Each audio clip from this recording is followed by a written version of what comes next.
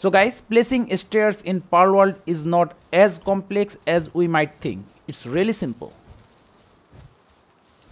Let's start with placing foundations.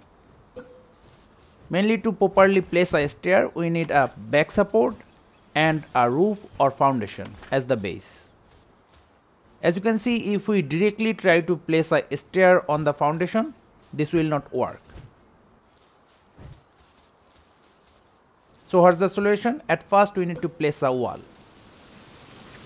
Then if we try to place the stair again, see it's working perfectly. Now suppose we want to place two stairs one after another without the second support like that one. For that place two walls then a roof then the stair.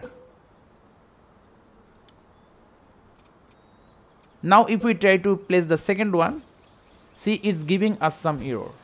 What's the problem here? We need to place a foundation as a base of the stair.